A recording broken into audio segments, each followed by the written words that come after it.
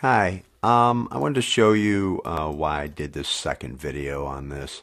I'm going to just go in here and you should have this double piston set up. Just delete the lower one if you want to make a separate file, different file called alternate so you don't lose what you had, that's fine. Uh, and then I'm going to go in here and I'm going to select this main null and zero this out by right clicking on these two arrows. And I want to show you um, what's going on if you haven't already noticed it. So if I just grab um, this null, or this uh, object here, it's the uh, connect rod big bottom. Uh, and that's just so we can see what's happening here. If I play this, uh, let's start over. Let's pull this out to, um, uh, let's pull it out to 100. That way you can really see what's going on. There's a little bit of delay uh, in here, and you'll see how that starts to move away from the axis point. Now, for an animation, you're never going to notice that unless you need to look up inside underneath this piston.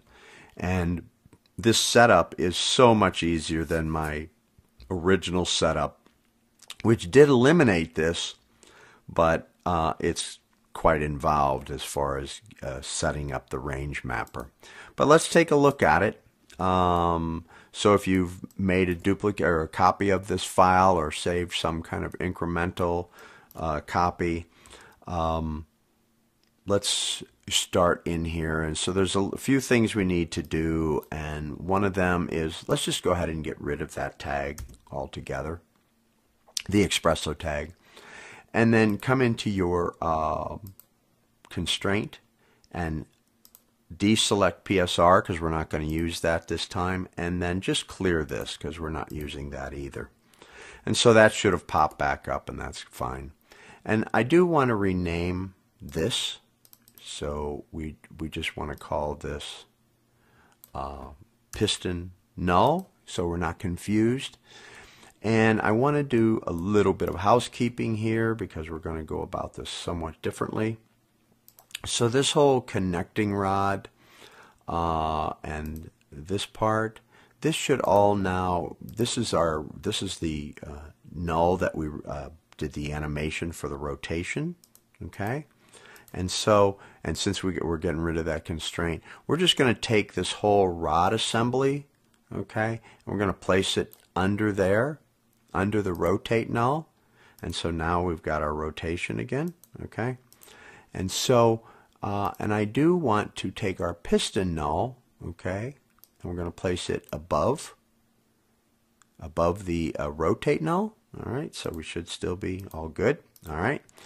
And then the last thing I want to do is take this rod point, which is no longer connected to anything, and we're going to make this our aim target. Okay, and I want you to just place that um, under the gudgeon pin. If you remember, uh, our gudgeon pin is exactly centered, uh, not centered in the piston, but centered in Z and right on this pivot point. That's right where we want it just right click on these two little arrows here and that'll zero it out. Now that is exactly centered on our um, gudgeon pin. And that is going to be our new aim target. So roll the rotate open, go to your constraint tag, and just pull that aim target in there. And now we're back to where we were starting, except that nothing, the piston's not animated. Okay, so um, I know that we're going to work with these uh, uh, keyframes at 50 to set this up. So just put it 50. Um, it's not real fast, but once this is set up, you can move this wherever you want.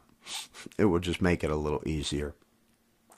So just to give you an overview of what we're going to do, we're now going to drive uh, our piston head in position X by using our, our rotation of the crankshaft. Okay, we know that this is a constant. This is turns 360 degrees every 50 frames. Okay, so we know that's a constant. So we're going to use that to drive our piston head.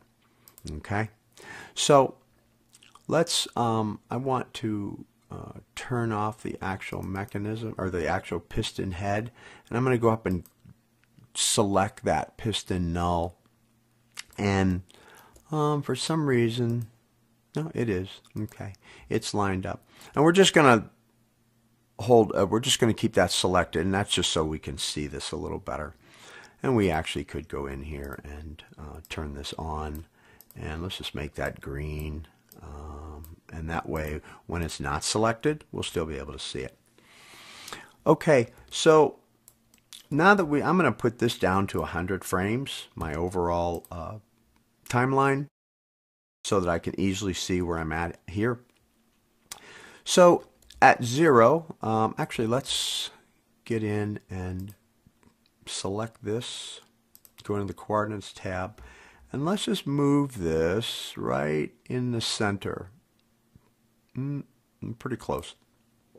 So once we get that centered, you want to freeze everything. Oh, the only thing is X, but let's just hit freeze all. Now we know we're starting at zero, at zero, and the coordinates won't get so wonky once we start to do this. So we should uh, know that at 0, we are now centered at 0. And if we go up to 50, uh, we should once again be zeroed. Uh, it should be perfect in there, and that's what we want. So at 25 is also perfectly uh, perpendicular on aligned on X. So if we take our piston null, because don't forget it's moving the aim target, so we're okay. We're going to move this up and align this. And all we're trying to do is get our range of how far this moves. And we know that at frame 25, our crankshaft has turned exactly 180 degrees. Our rod is laid out perpendicular on X perfectly. And it looks like we're probably, let's put in 200. And that looks pretty good. And it's a nice, nice even number. So what we want to do now is come up and let's add our uh, XPresso tag. We can add it to the main null and put it in there. And so like I said, we're going to drive the piston movement in X by the rotation in the crankshaft.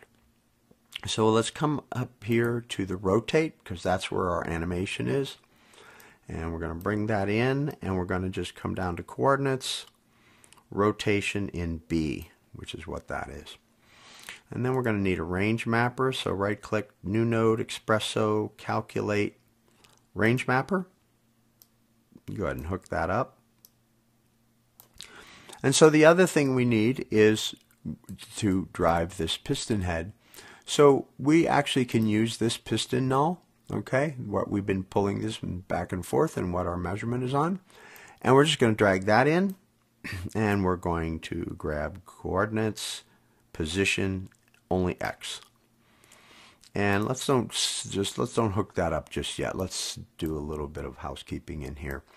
So we know that we're driving uh, this by rotation, which is in degree. So let's grab degree, and we get an automatic 0 to 360, which is perfect. And we know that, oops, excuse me, we know that at 0, um, our x position is also 0. And at, our, at the highest point, at, 20, at frame 25, it should be 200. So let's put in 200, okay? So if we back this up, and we hook this up, okay, we immediately see that that jumps to where it should be. All right. I'm going to open this up a little bit so we can see the full movement of this. And then, see what's happening?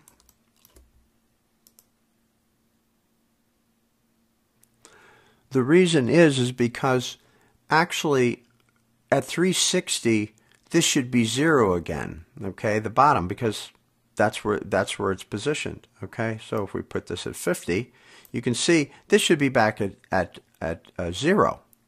The problem is if we put zero and zero, that's never going to work. It's not going to move. So what do we do? Well, what we do is we use this spline function. So I'm going to open this. If you come down to the bottom, you see show in separate window. I'm going to pop that open and bring this up so we can see it larger. And so you don't see a spline in here, and there is one by default, and it's a linear spline. So let's pop that in there. So if you look across here, at this, it's 0 to 1. So at 1, this is representing our highest or our upper output, our input upper and our output upper. So this says at 360 degrees, outputting 200. But if you remember, at 200, I mean at 360 degrees, we want to output 0. So if we pull this down, okay, now we have at 0, we have 0, and at 1, we have 0. And so with that spline like that, you're going to see that it's not going to move, which was the problem we knew if we just put in 0. But with the spline, we can change things up.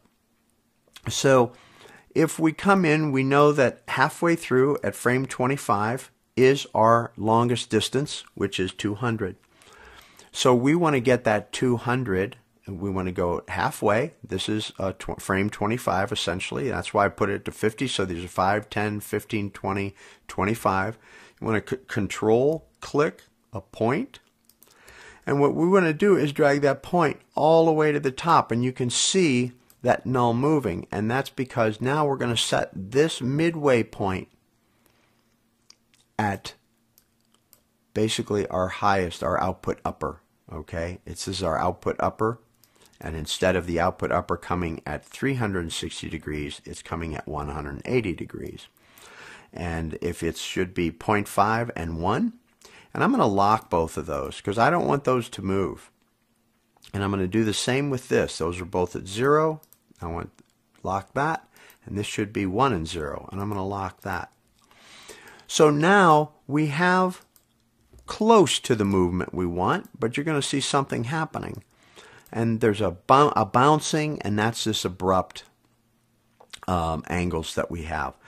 So let's start uh, setting up this spline. And this is where it gets a little tedious.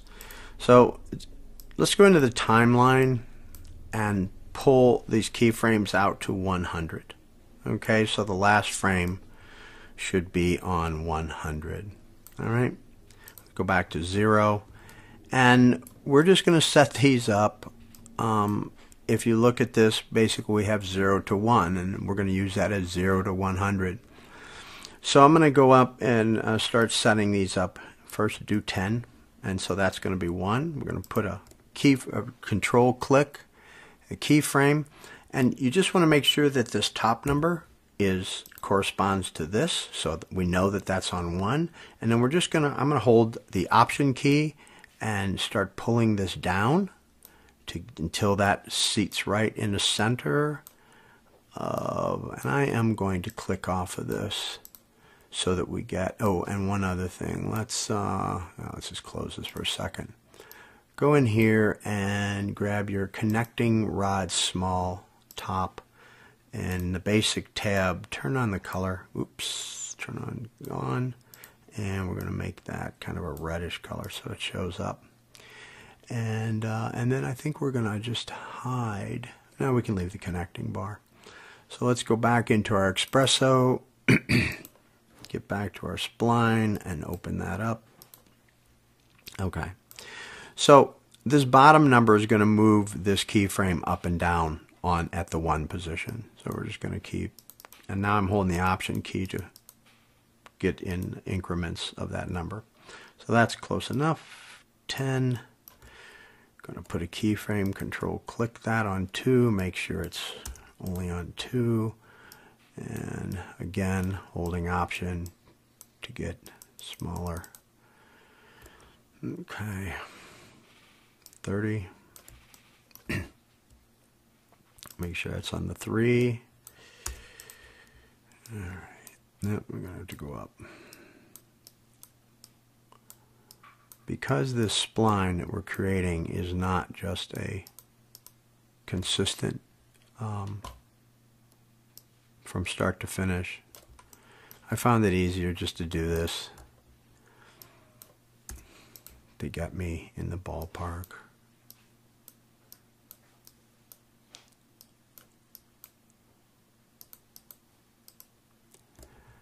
And we leave it there go to and I'm going to go back 35 so that would be right in between and you can we could have done it um, just moving up. So I got 35 there. Come back down to 30 25 make sure this is just a 2.5 come down to 20 is good. 15 1 5 oops. And you just want to get that pretty close into the center. And 5 and make sure it's just a 5 or 0 5 actually on that one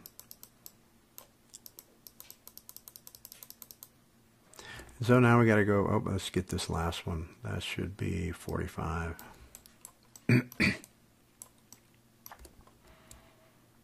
Hmm, that one, it's tedious, for sure. And, okay, so 50 is right, 55. Make sure it's 55. I'm still holding the option. Okay. 60.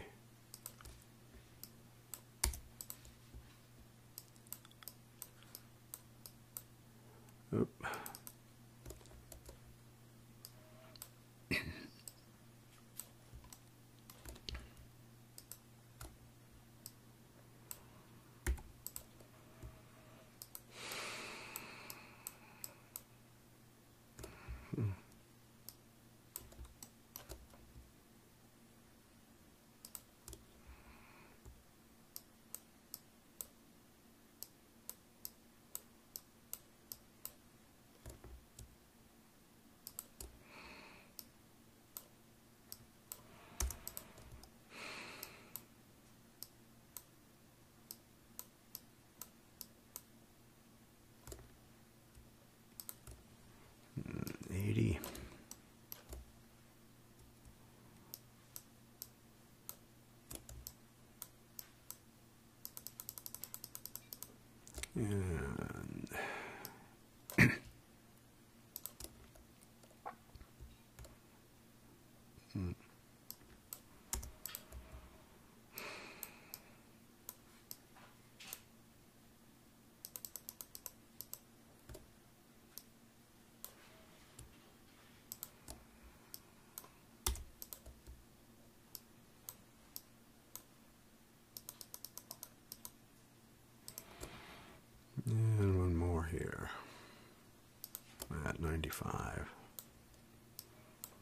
Make sure it's 5 and pull that down.